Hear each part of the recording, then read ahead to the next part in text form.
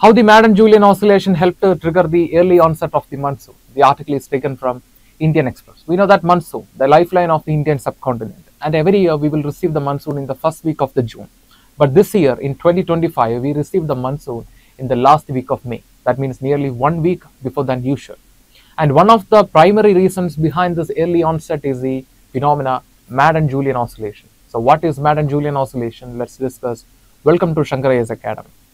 So Madden-Julian oscillation, look at this definition. I took this definition from the Press Information Bureau. The Madden-Julian oscillation is an equatorial traveling pattern of anomalous rainfall that is planetary in scale. So before understanding this uh, definition or before decoding this definition, we can simply understand what is Madden-Julian oscillation. Just consider it as an atmospheric disturbance that travel across the world along the equator. That means the, the, the strong impact of this Madden-Julian oscillation is on the tropical area. So for example, this Madden-Julian oscillation can either enhance or it can suppress the rainfall in the tropics. But uh, the subtropical area will also have a limited impact of this Madden-Julian oscillation and it will travel around the world along the equator. And coming to this definition from the PIB. So Madden-Julian oscillation is an equatorial traveling pattern of anomalous rainfall. Yes, because this uh, phenomena can make the rainfall erratic, which means unpredictable. It can either suppress or it can either enhance the rainfall and that is planetary in scale. For example, the impact of this Madden-Julian oscillation is, you know, is on a large area. For example, this Madden-Julian oscillation is active over the Indian Ocean, then the uh, the maritime continents, that means the con uh, the areas of the Southeast Asia will receive only suppressed rainfall. For example, this uh, phenomena is active over the maritime continents, then in that case, the Indian Ocean and the Western Pacific will receive only limited rainfall. So this is how the uh, the uh, know th that is why this Madden-Julian oscillation is planetary in scale.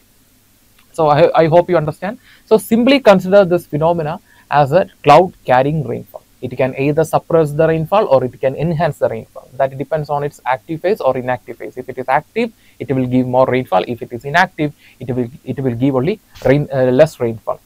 So look at this picture. So it is for a better understanding uh, how the Madden-Julian oscillation will influence the rainfall. So here you can see the Madden the cloud is uh, is above the active phase. So this area is in active phase. Therefore, this region will receive heavy rainfall, while the either sides, the west and east, will receive only suppressed rainfall. And coming to the other facts about this Madden-Julian oscillation, so this uh, this phenomena can travel, you know, at a speed of uh, four to nine meters per second. That means it can complete, you know, uh, a circulation around the world on an average of 30 to 60 days, sometimes up to 90 days.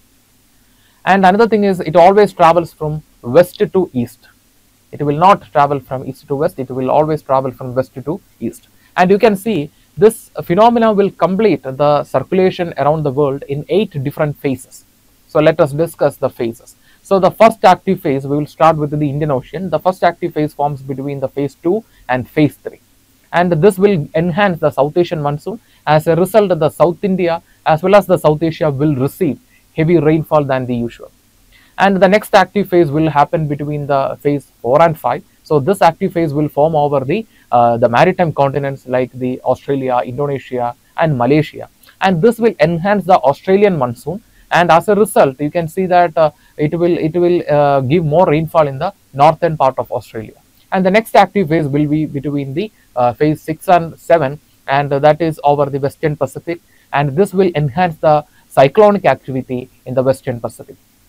And the next active phase is between the phase 8 and 1.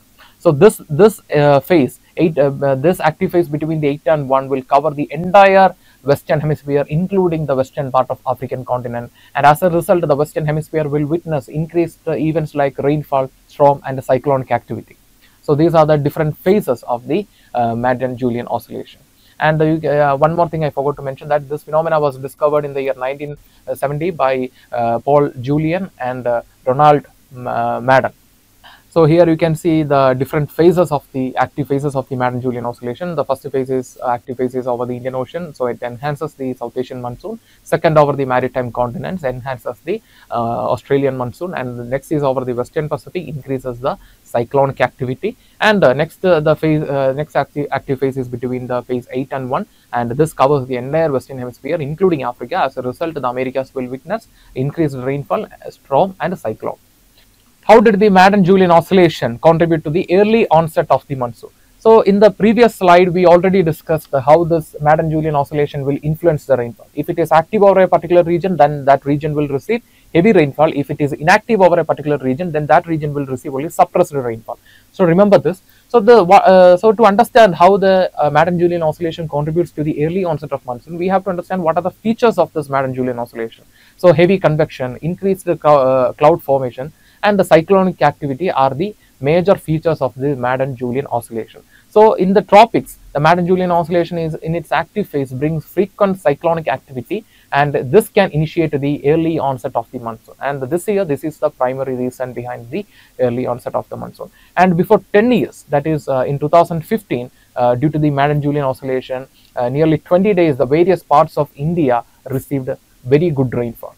So remember that before this incident, uh, you know, uh, was active in the year 2015. Now it is 2025. So here you can see an interval of 10 years.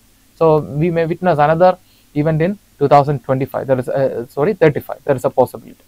So this is all about the Madden-Julian oscillation. Coming to the prelims practice question, the question is uh, consider the following statements regarding Madden-Julian oscillation. It is an atmospheric disturbance that travels from east to west. And uh, on a uh, statement two, on an average, the Madden-Julian oscillation can travel across the world in uh, 150 to 180 days. Which of the above statements is or are correct? Option A, one only. Option B, two only. Option C, both one and two. And option D, neither one nor two. Post the answer in the comment section. We will meet again in another video. Thank you.